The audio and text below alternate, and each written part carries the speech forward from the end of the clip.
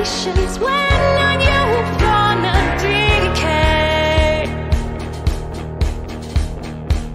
I want to throw you out just like my broken TV. If you'll come back once more.